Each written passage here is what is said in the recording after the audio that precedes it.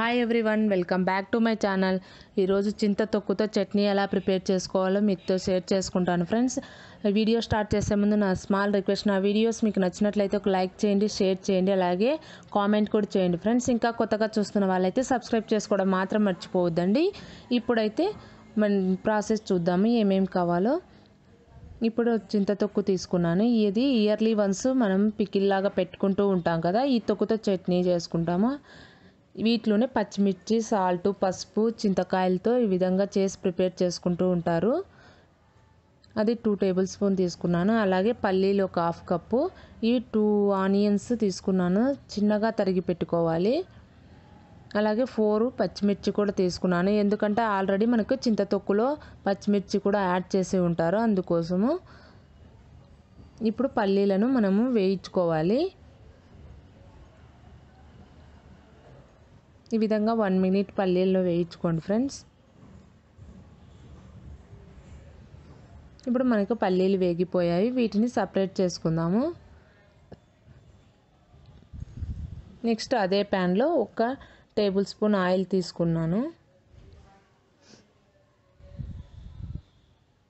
Oil కొంచెం heat ఎక్కిన తర్వాత మనం పచ్చిమిర్చిని కొంచెం వేయించుకోవాలి.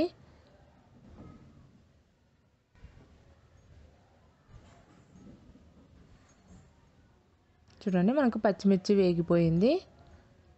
వాటిని సపరేట్ చేసుకోండి పచ్చిమిర్చిని. నెక్స్ట్ అదే ప్యాన్లో ఆయిల్ ఆల్రెడీ ఉంది. కొంచెము ఆ ఆయిల్లోనే మనం ఈ విధంగా ఆనియన్స్ను వేయించుకోవాలి. లో ఫ్లేమ్లో పెట్టుకొని వేయించుకోండి ఫ్రెండ్స్. ఈ విధంగా వేయించుకోవాలి. మీరు రా ఆనియన్స్ కూడా బాగుంటాయి. అలా కూడా యాడ్ చేసుకోవచ్చు. తినని వాళ్ళు ఈ విధంగా కొంచెం వేయించుకొని యాడ్ చేసుకుంటే చాలా బాగుంటుంది. టేస్ట్ ఇప్పుడు నెక్స్ట్ అవి పల్లీలను చల్లారనిచ్చి ఇలా పొట్టు పొట్టు తీసేసి ఈ విధంగా మనం మిక్సీలో వేసుకోవాలి. చూడండి ఈ విధంగా మిక్సీ పట్టి పెట్టుకోవాలి. ఇప్పుడు మనం పచ్చిమిర్చిని కూడా యాడ్ చేస్తున్నాము. అలాగే చింతతొక్కును కూడా యాడ్ చేసుకోవాలి. వీటిలోనే సాల్ట్ ఉంటుంది ఫ్రెండ్స్ అందుకే నేను సాల్ట్ యాడ్ చేయలేదు. కావాలంటే మీరు సాల్ట్ తక్కువ ఉంటే యాడ్ చేసుకోండి. అలాగే తగినన్ని వాటర్ యాడ్ చేసుకొని మనం ఈ విధంగా మిక్సీ పట్టి పెట్టుకోవాలి.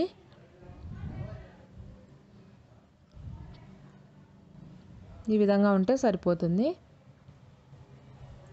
ఇప్పుడు ఆనియన్స్ మనం వేయించి పెట్టుకున్నాం కదా ముందే వేస్తే అంత మనకు మెత్తగా అయిపోతాయి. ఈ విధంగా లాస్ట్లో యాడ్ చేసి ఒక రౌండ్ అలా మిక్సీ పట్టి పెట్టుకుంటే మనకు ఆనియన్స్ అక్కడక్కడ తగులుతుంటే టేస్ట్ చాలా బాగుంటుంది. అందుకోసం మీరు ఎక్కువగా గ్రైండ్ చేయొద్దండి. ఆనియన్స్ యాడ్ చేసిన తర్వాత చూడండి మనకు అక్కడక్కడ కనిపిస్తున్నాయి కదా. ఆ విధంగా ఉంటే టేస్ట్ చాలా బాగుంటుంది చట్నీ. ఇప్పుడు ఒక రెండు స్పూన్ల ఆయిల్ తీసుకున్నాను అదే ప్యాన్లో. ఆయిల్ కొంచెం హీట్ ఎక్కిన తర్వాత ఆవాలు యాడ్ చేశాను. అలాగే ఉద్దిపప్పు అలాగే శనగపప్పు యాడ్ చేశాను. ఇవి మనకు తిన్నప్పుడు అక్కడక్కడ తగులుతుంటాయి కదా టేస్ట్ చాలా బాగుంటుంది. ఇవి కొంచెం దూరగా వేగిపోయాయి కదా ఇప్పుడు ఎండుమిర్చి కూడా యాడ్ చేసుకోండి.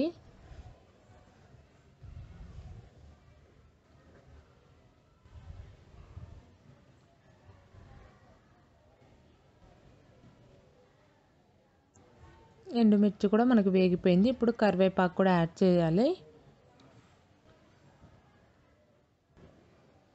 ఇదంతా పోపు అంతా బాగా వేగిన తర్వాత ఈ విధంగా మనము ముందుగా ప్రిపేర్ చేసుకున్న చింతతొక్కు చట్నీని యాడ్ చేయాలి.